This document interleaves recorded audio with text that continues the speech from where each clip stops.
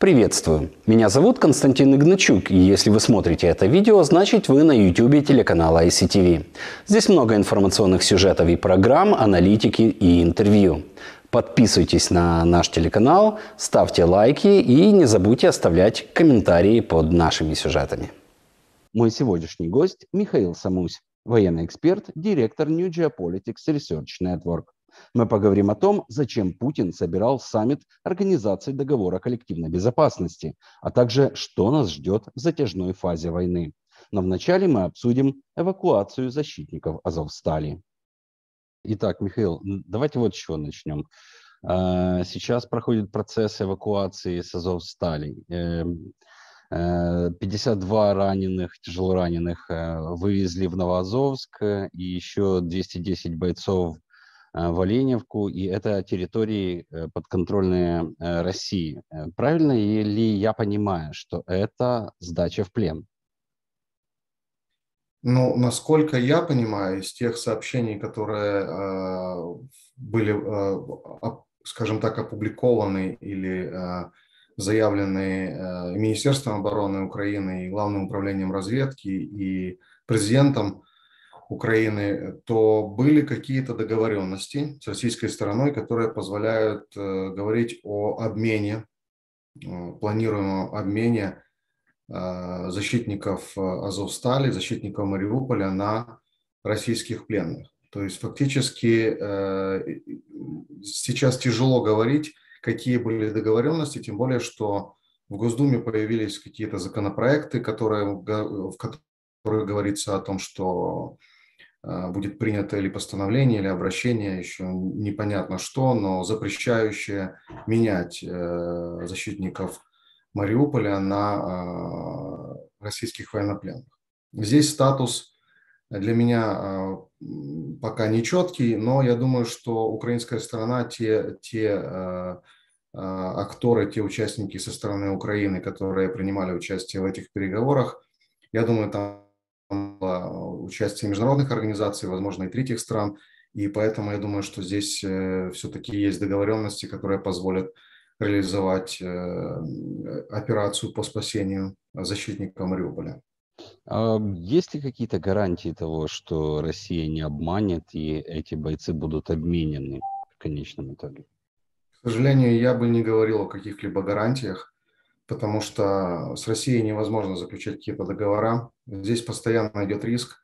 Мы знаем об этом а, с нашей длинной истории, тысячелетней. Мы знаем это из последних случаев, а, например, Иловайска, когда тоже были договоренности, но это известный случай. А неизвестных случаев, я думаю, что масса, когда Россия использует такие ситуации для того, чтобы как раз э, получать свои дивиденды. К сожалению, э, всегда украинская сторона надеется на порядочность, но я думаю, здесь вообще не должно быть никаких иллюзий. В любую секунду, в любой момент Россия может э, сделать так, чтобы поставить противника в неудобное и может быть даже и очень плохое положение, и этим воспользоваться на переговорах или для достижения своих каких-то военных, политических, геополитических целей. Э, на днях в Москве э, проходила, проходил саммит Организации договора коллективной безопасности, э, такой российский аналог НАТО. Какие цели преследовал этот саммит и были ли эти цели достигнуты? Ну, официально, а, как бы официальным поводом было 30-летие организации. А, подписан был тогда так называемый Ташкентский пакт. Действительно, это все делалось и тогда, и сейчас делается в пику НАТО, создавая такое себе продолжение Варшавского договора, зеркальное отображение сил НАТО. А, единственным случаем, когда ОДКБ было применено, это как раз был, как это не парадоксально, 22 год в Казахстане, в Алматы, когда было такое демонстрационное использование ОДКБ. В основном это были российские войска, но там участвовали и какие-то маленькие подразделения других стран ОДКБ, Киргизстана, Армении, а, если не ошибаюсь. Ну и Казахстан сам по себе является членом ОДКБ, поэтому как бы все это проходило вот на том пространстве, которое официально можно говорить о пространстве этого, этого, этой организации. ОДКБ постоянно пыталась обрести какие-то официальные черты признания со стороны ООН, со стороны НАТО, со стороны ОБСЕ, пытаясь даже предоставить им какое-то право проведения миротворческих операций под эгидой этих организаций. Пока ничего это не достигнуто, то есть э, все эти как бы миротворческие операции, на самом деле это обычные военные операции или операции специальные для достижения определенных целей Москвы, они проводились исключительно под эгидой Кремля и больше, э, больше никого. Ну, э, то, что Э, страны, страны ОДКБ позволяли это делать у себя на территории, это действительно просто демонстрирует статус этих стран с точки зрения их зависимости от Москвы. Вот этот конкретный саммит, конечно же, проходил под э, знаком э, широкомасштабной войны России против Украины. России, очевидно, нужны союзники сейчас. Мы помним, что в марте, сразу после начала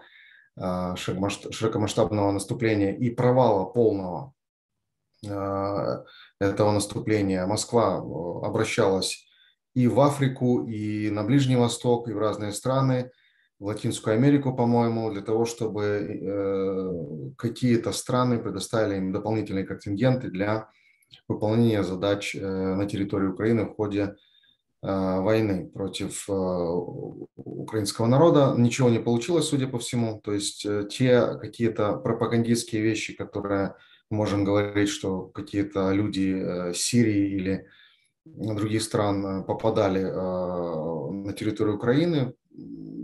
Это все единичные случаи, не было никакого там массированной, массовой помощи, массированной помощи со стороны других стран, в том числе и со стороны союзников. Та же Беларусь, несмотря на то, что она является полно, полноценным участником агрессии против Украины российской, потому что с ее территории наносились ракетные удары, наносятся, а, перебрасывались десанты, используя силы специальных операций.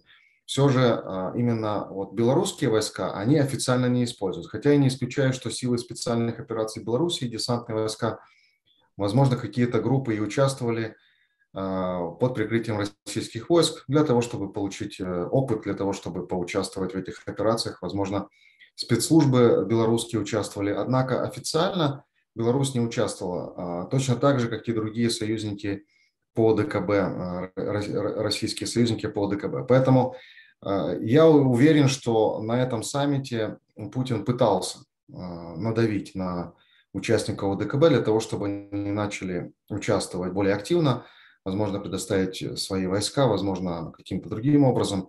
Но, видимо, ничего не получилось. Все нашли причины для того, чтобы отказаться. В Таджикистане свои какие-то проблемы с Афганистаном, это очевидно, что там будет напряжение нарастать. Э, Казахстан э, тоже э, не всегда в восторге, или вернее всегда не в восторге от предложения России поучаствовать в каких-то своих авантюрах. Позиция Лукашенко известна, он всеми силами будет пытаться сейчас избежать Э, возможности втягивания его в войну для того, чтобы э, в случае чего продемонстрировать то, что он совершенно не хотел участвовать в войне, что его заставили, но вот свои, свои войска он так и не направил, поэтому э, может рассчитывать на какое-то снисхождение, когда будет происходить международный суд над военными преступниками и над агрессорами.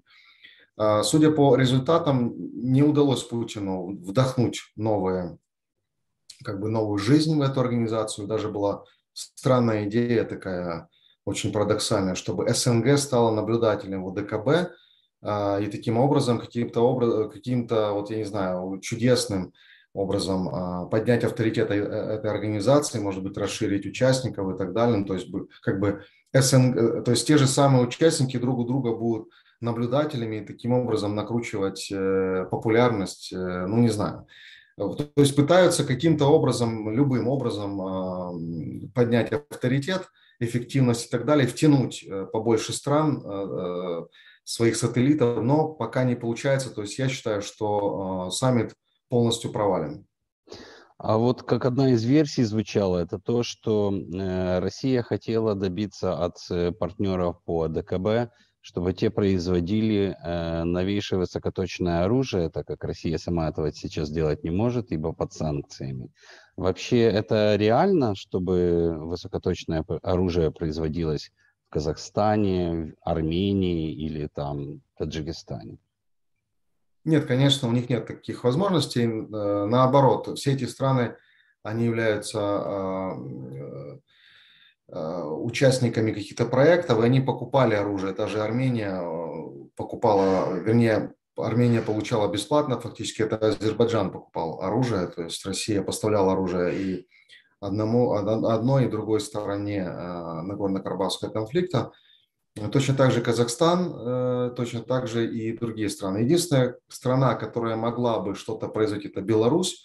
У нее есть свои наработки, у нее есть свой комплекс э, совместный с Китаем э, Полонез, который можно сравнивать где-то с ОТРК Искандер по дальности, по возможностям. Но, в, но опять же, это китайская система, то есть здесь Беларусь не имеет права передавать какие-то технологии России без разрешения Китая, а такое общение, что Китай не очень стремится к этому. Поэтому, возможно, э, Россия хотела бы не то, что обеспечить производство этой, этой техники на территории э, стран ОДКБ, но э, каким-то образом легализовать поставки комплектующих, например, из стран Запада или из других стран, которые сейчас прекратили поставки товаров двойного назначения, военного назначения, для того, чтобы через эти страны легализовать Э, всю эту э, систему поставок для э, производства высокоточного оружия, и не только высокоточного. Дело в том, что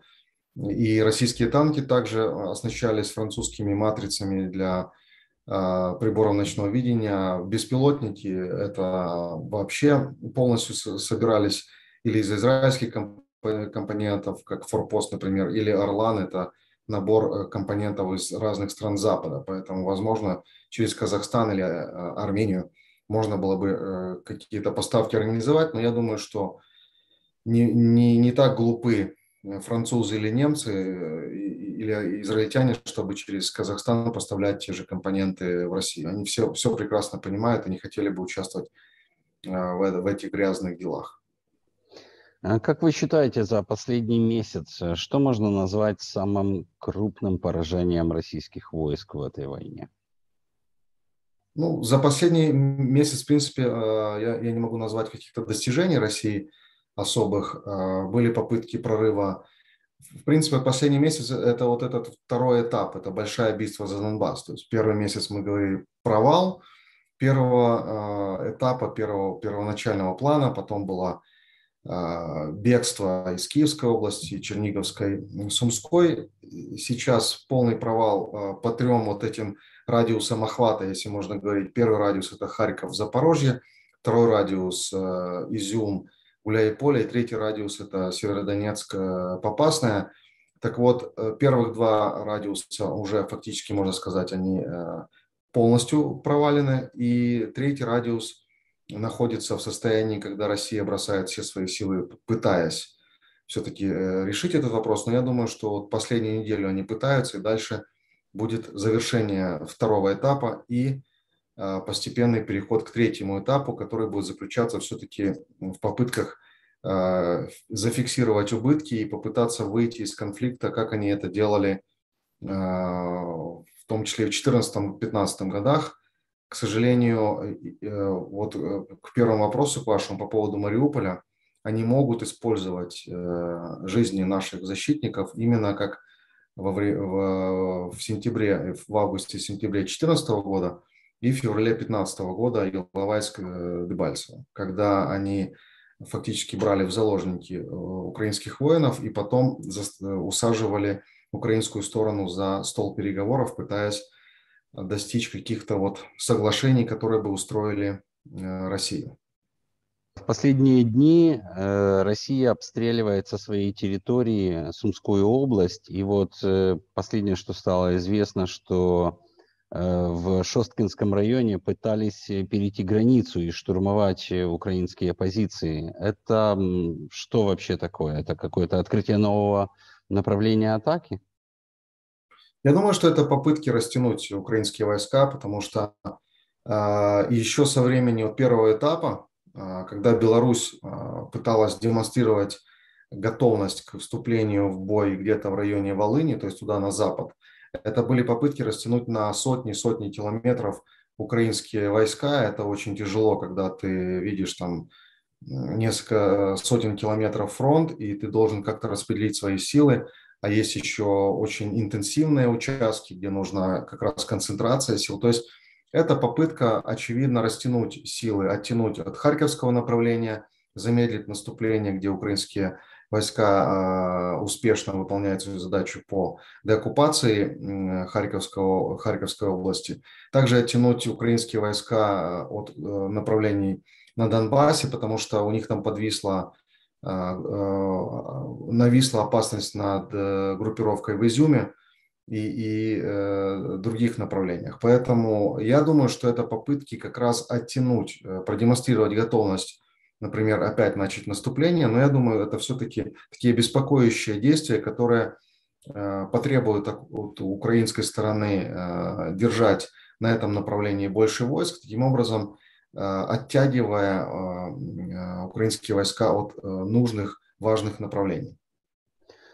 Эм, недавно Министр обороны Украины Резников э, заявил, что мы входим в долгосрочную фазу войны. Э, могли бы вы объяснить, что такое долгосрочная фаза? Это сколько времени, что будет происходить и где? Это вот тот третий этап, о котором я говорил. То есть Путин будет пытаться э, зафиксировать свои убытки, но, естественно, показать, что это Э, не, не, вовсе не убытки, а, а очень даже неплохие результаты, что вот Песков там буквально, не знаю, сегодня, вчера опять сказал, что спецвоенная э, операция идет по плану. То есть они пытаются э, в своей пропаганде убеждать своих сограждан, что все отлично, что генералы и военные выполняют все свои задачи с высочайшим результатом, и все это было ранее запланировано. То есть они попытаются заявить видимо, что их задачей было все-таки вот э, только так называемая ДНР, ЛНР, но так как э, удалось еще и денацифицировать юг, э, им, конечно же, очень, очень обязательно нужно будет проводить еще операцию в районе Николаева, Одессы,